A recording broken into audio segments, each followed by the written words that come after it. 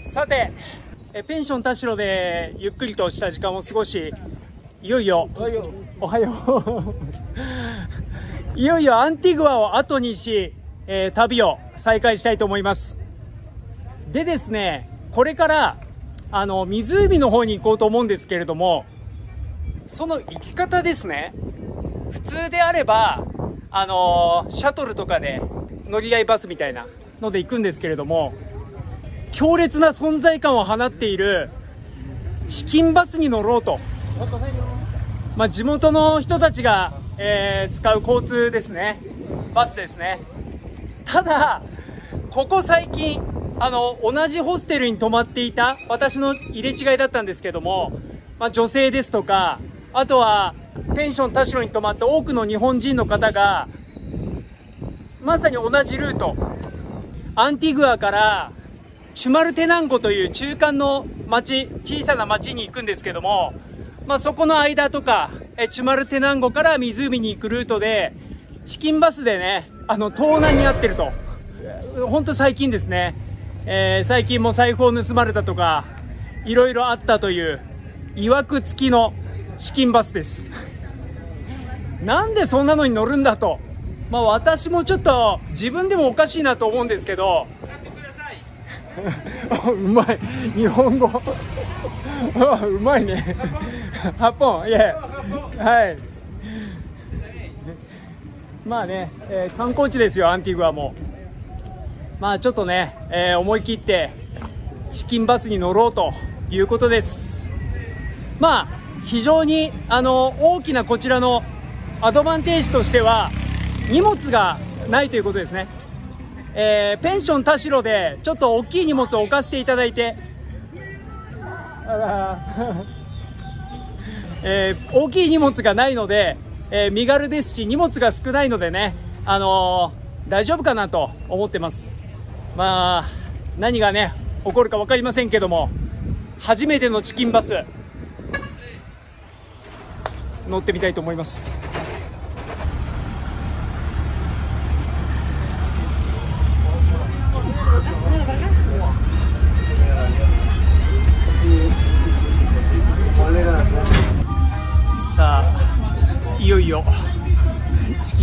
乗りました。アンティグアからチュマルテナンゴという小さな町に行ってそこからパナハッチェルを目指します。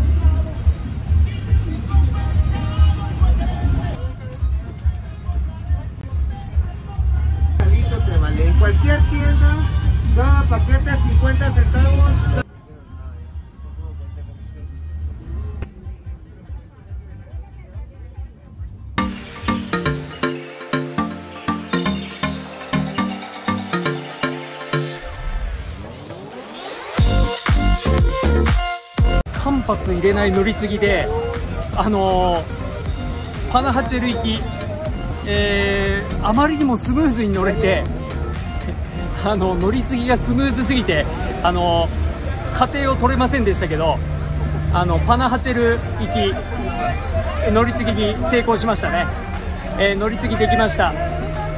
もうあとはこれ乗っているだけでパナハチェルに行けると思います。よかった。めっちゃスムーズ。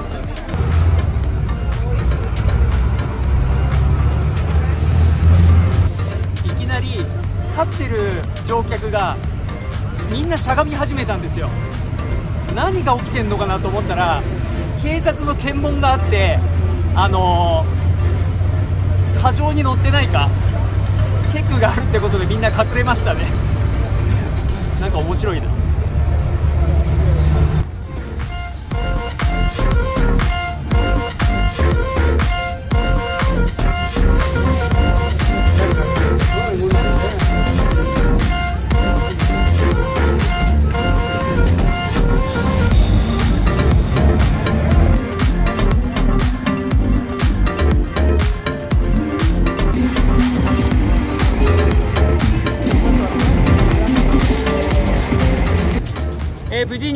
チキンバスでパナハッチェルに到着しました。3時間半か4時間ぐらいですかね。えー、まあ、3時間半ぐらいでしょうか、えー、アンティグアからスムーズな乗り継ぎでパナハチェルに着きました。バスから見えた湖もすごかったですね。いやー楽しみです。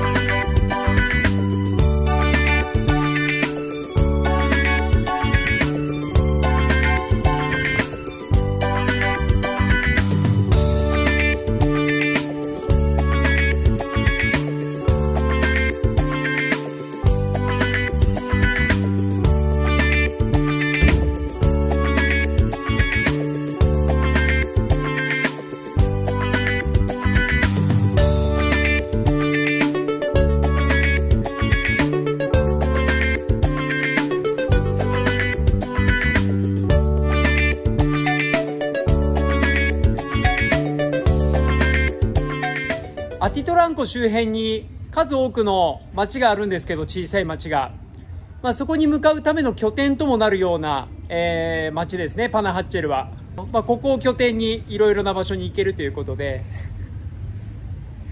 はい、えー、まずはパナハッチェルをちょっと散策していきたいなと思います。まあまだね着いて間もないですけどあの道行く人が挨拶してくれたりまあちょっとね笑顔で接してくれる感じで、なんかあったかい雰囲気を感じますね。はい。ちょっとこれからの街歩きが楽しみです。それでは、早速、行ってみましょう。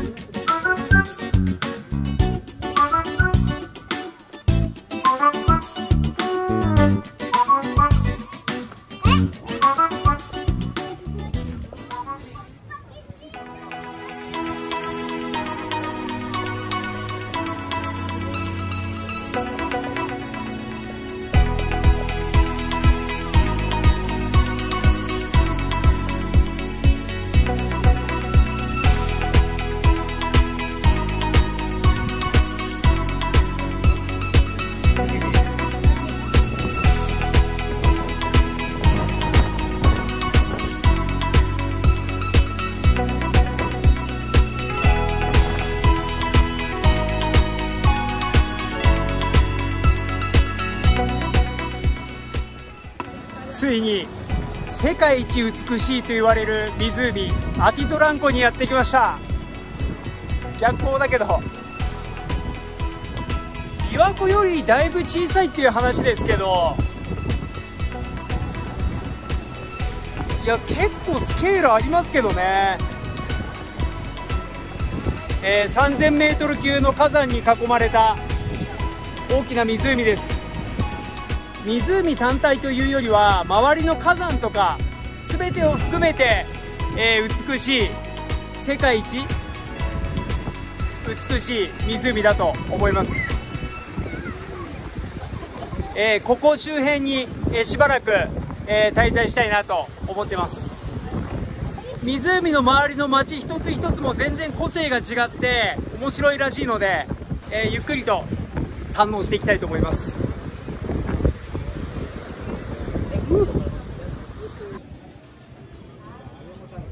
あのまあ当たり前ですけどね。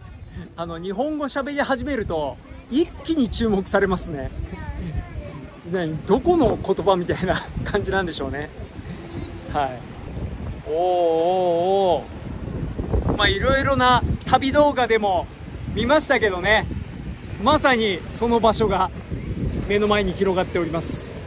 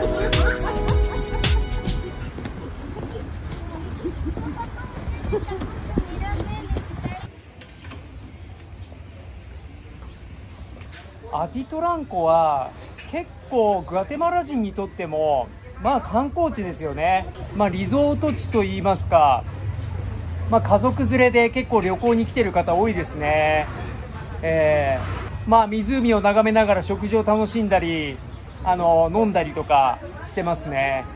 で物価も安いですね。あの湖周辺湖沿いは結構高いのかなと思ったんですけどかなり安いですね。すごいな。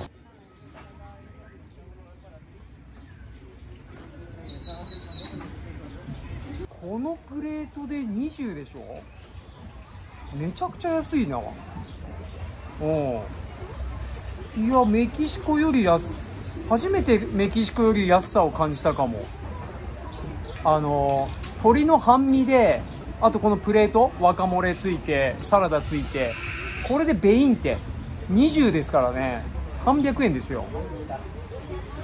素晴らしい。いただきます。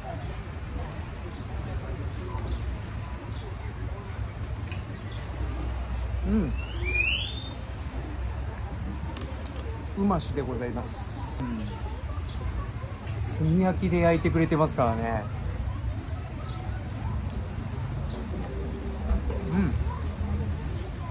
うん。間違いない美味しさ。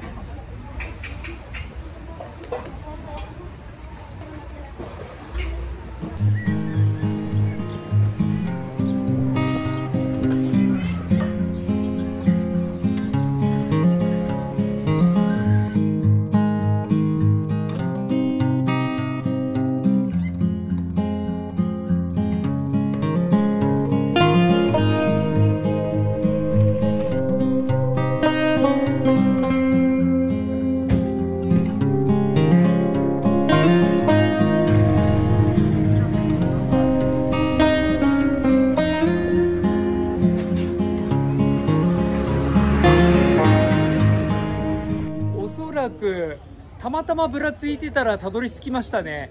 ここがおそらく結構有名なハンドメイドのアイスクリーム屋ですね。あの 人気店なのか4時から6時の2時間だけで全部売り切って店を閉めるという。食べてみましょう。あの何味かわからないからね。何を注文していいか分かんないですね。困ったな。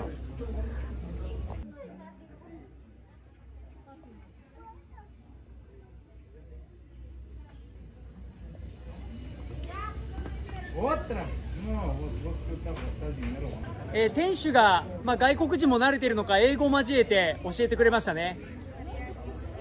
サンディア・チフラーダ？これがねグアテマラのあのー味らしいです。ちょっと食べてみましょうか。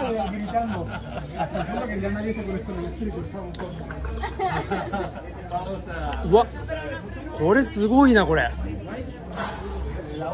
かなり何これ。独特。これはねグアテマラオリジナルな味ですね。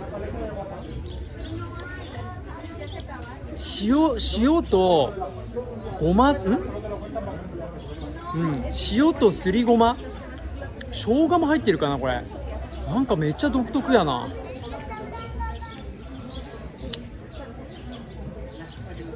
うん。なんだちょっと酸っぱい。独特な味するなこれ。初めて食べるアイスだなこれ。ちょっと癖強いの頼みすぎたな。まあでもここでしか食べれない味だということは間違いないです。